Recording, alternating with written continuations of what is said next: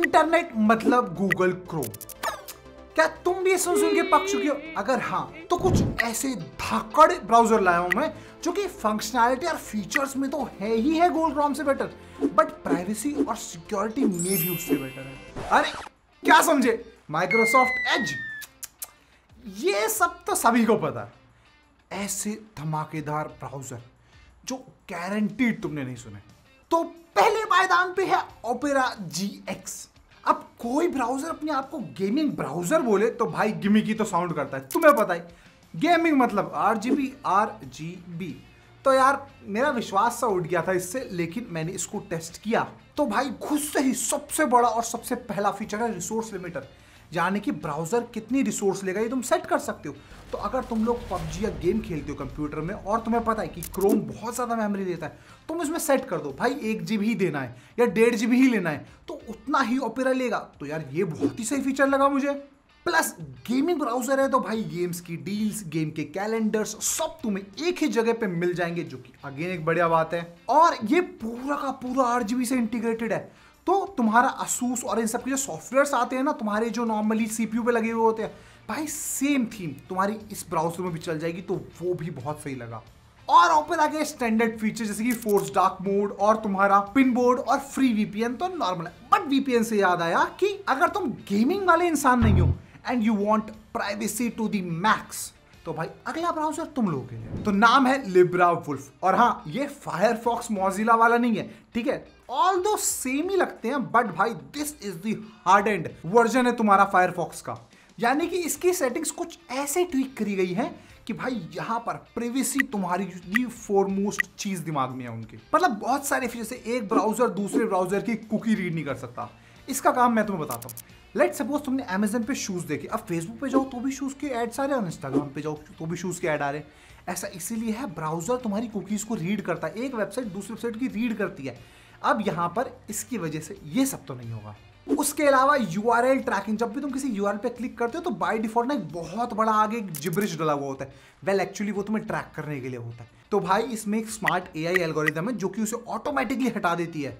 तो वो भी एक बहुत बढ़िया बात है। एंड बहुत सारी चीज़ें टेलीमेट्री डेटा डीआरएम का सपोर्ट नहीं करता ये। और बहुत सारी वेबसाइट जो कि तुम्हारी हिस्ट्री ट्रैक करती है, उसको भी सपोर्ट नहीं करता ये। इनफैक्ट इसमें एक एंटी फिंगर प्रिंटिंग टेक्नोलॉजी जो कि लगभग लगभग तुम्हारा टॉर ब्राउज़र की तरह काम करती है। अब टॉर जो है प्रॉपर वो तो डार्क वेब वाली चीज़ हो गई। बट उसका एक वर्जन है, जो कि इसमें यूज़ होता है तो ये प्राइवेसी तुम्हारी बहुत अच्छे से हैंडल करता है। मगर ये मत सोचना परफेक्ट है। भाई, इतनी प्राइवेसी हटा रखी है इसने कि कुछ वेबसाइट नहीं चलेंगी, जैसे नेटफ्लिक्स उसको डीआरएम की नीड होती है तो भाई वो तुम्हारी रीड तो करेगा ही करेगा। तो मेरी मानो नॉर्मल या फिर बैंक ट्रांजेक्शन के लिए इसको यूज़ कर लो और तुम्हारे एंटरटेनमेंट के लिए तुम नॉर्मल क्रोम भी यूज़ कर सकते हो। बाकी अगर तुम हाईटेक गेमर भी नहीं हो और तुम हाईटेक प्राइवेसी वाले इंसान भी नहीं हो और तुम थोड़े से आर्टिस्टिक हो तुम्हें थोड़ा सा एस्थेटिक्स चाहिए। तो भाई, अगला वाला ब्राउज़र एक बार देखो जरा। तो ये क्रोमियम बेस्ड ब्राउज़र है। क्रोम नहीं, उसके जैसा मिलता जुलता नाम है इसका विवाल्दी अब यहाँ पर इतनी ज़्यादा कस्टमाइजेशन अवेलेबल हैं तो लेट सपोज़ अगर तुम्हें तुम्हारा एड्रेस बार थोड़ा सा बड़ा लग रहा है तो भाई इसको छोटा कर दो। मतलब यूआई के मामले में Vivaldi is the best let suppose तुम्हें बटन्स का कलर अच्छा नहीं लग रहा है, तुम्हें उनके कर्व ज़्यादा लग रहे हैं, भाई तुम्हें ब्राउज़र की शेप ज़्यादा लग रही है तो हर तरीके से तुम इसको कस्टमाइज कर सकते हो, जो कि अगर तुम्हें चाहिए तो। इसको भी ट्राई कर सकते हो। इसके बाद भी लेट सपोज़ भाई ये सब ना कंट्रोल फ्रीक वाली चीज़ें हो जाती है। मेरे को ना इतना नहीं चाहिए।